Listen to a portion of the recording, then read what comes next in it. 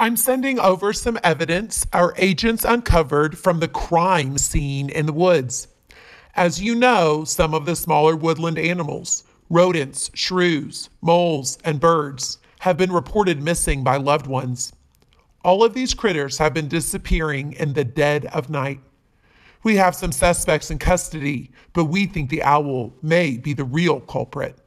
You see, upon interviewing the owl, he claims he's an herbivore and would never eat the defenseless creatures who have gone missing.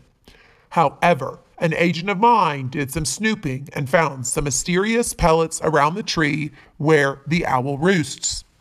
I've bagged the evidence and sent it to your lab, and we are hopeful after your examination, you'll be able to confirm our suspicions that the owl is indeed the predator who has terrorized the creatures of the peaceful woodland community